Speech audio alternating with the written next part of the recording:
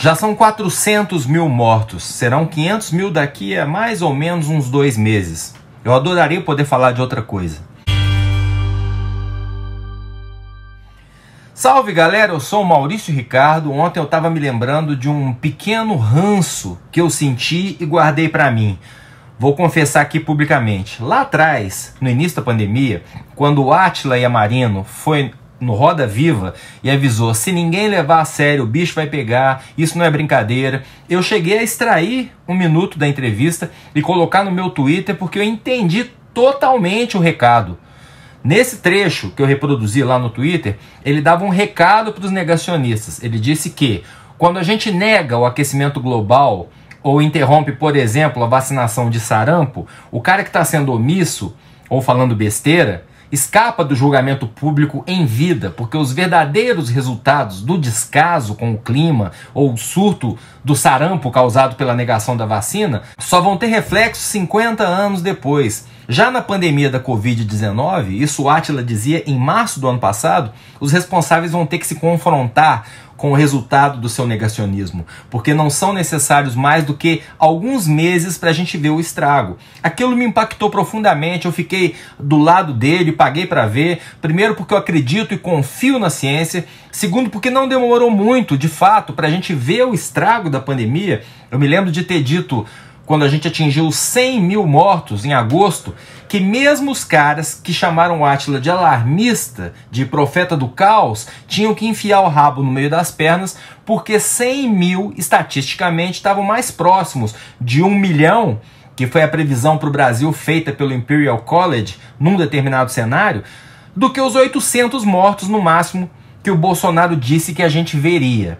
Essa é a hora que você me corrige e diz: não, o Atila falou em 3 milhões. Então, ele não tirou esses números do anos. A ciência trabalha com projeções e cenários. Se num determinado momento o índice de mortalidade por infectados é X, o resultado é Y. Se existem medidas restritivas, testagens, esse resultado pode ser completamente diferente. Esse 1 milhão aí, ou 3 milhões, já não fariam sentido pelo simples fato de novas cepas terem chegado ao mesmo tempo em que medidas de isolamento social foram tomadas em maior ou menor escala em todos os estados e municípios, se não por iniciativa dos governos, até pela conscientização popular e pelas possibilidades pessoais de quem pôde se isolar.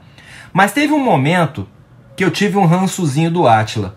Foi no final do ano passado, quando os prefeitos e governadores deram aquela aliviada básica nas medidas restritivas visando as eleições, claro, como eu até pontuei aqui, mas também achando que o vírus daria uma trégua, a vacina ia chegar e a gente poderia começar o novo normal pós-pandêmico. Nessa época, o Atila profetizou: do jeito que está indo, 2021 vai ser pior que 2020. E eu pensei, pô, não, aí não, né? Menos. Na época a gente tinha 150 mil mortos, não tinha vindo ainda a segunda onda, a cepa de Manaus. Ainda bem que eu guardei isso para mim, porque em janeiro já eram 200 mil. E a gente termina o mês de abril com 400 mil mortes. A gente já teve mais mortos esse ano, em quatro meses, do que nos 10 meses de pandemia em todo o ano passado. Ou seja, a profecia do Átila já se cumpriu. O que me causa espanto é a naturalidade com que a gente atingiu esse número. Eu vi as manchetes hoje e percebi uma coisa fascinante do ponto de vista comportamental. Quando a gente compara a repercussão dos números redondos de 100 mil em 100 mil, me dá a impressão de que a gente recebe 400 mil mortos com mais naturalidade do que recebemos os 100 mil mortos atingidos em agosto. Ou seja, um número catastrófico quatro vezes maior nos choca menos. Aqui eu posso até estar tá viajando na maionese, mas me deixa desabafar. Eu ouso dizer que esses 400 estão passando mais batidos, porque o próximo número redondo será meio milhão, meio fucking milhão. Então o nosso cérebro que tem sua forma peculiar de organizar informações e absorver o medo e a dor, talvez já esteja se preparando para esse número grandioso. E não duvido que a gente a partir daí, do meio milhão, comece a pensar em 600, 700, 800, 900 como intervalos até o próximo grande número redondo e a gente passe a contar em milhões. Tô exagerando? Um pouco. Mas é que eu tô tentando frisar aqui que 400 mil pessoas é gente pra caramba.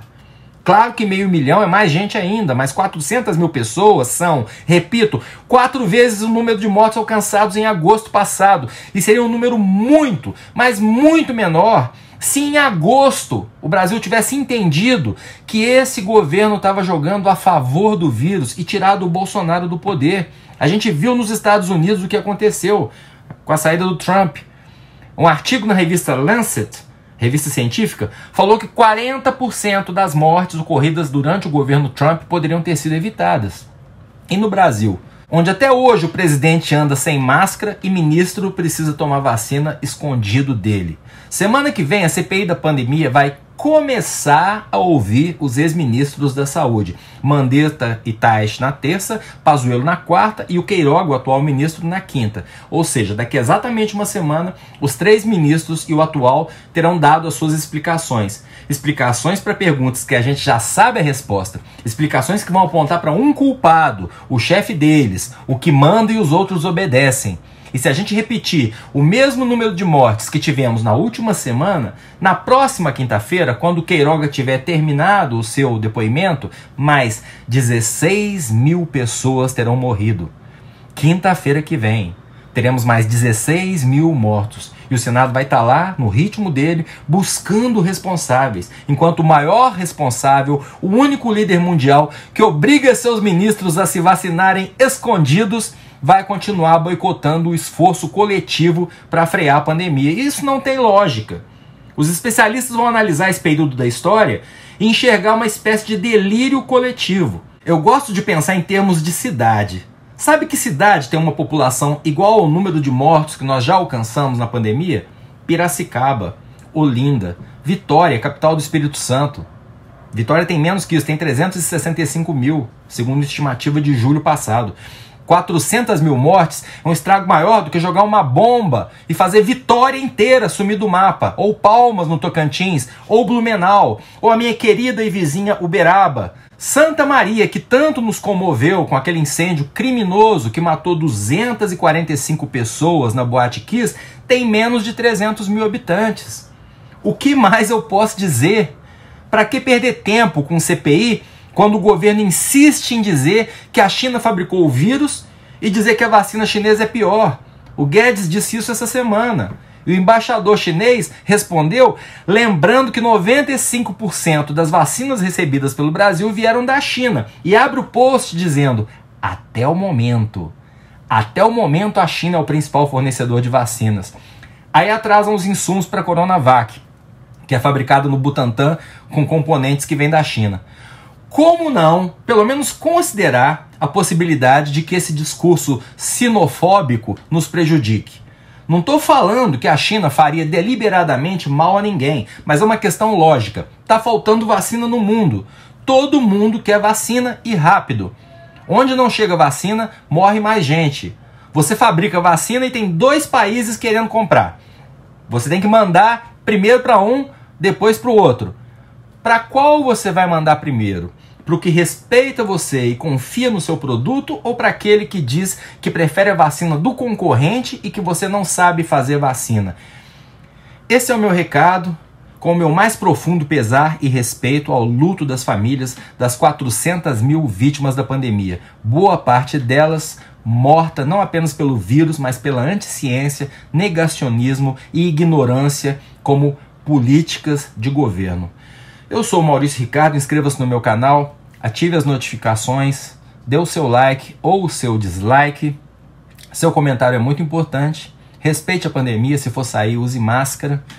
E o meu mais profundo agradecimento aos heróis da saúde, muitos deles vítimas que estão aí ajudando a inflar esses terríveis números de mortos.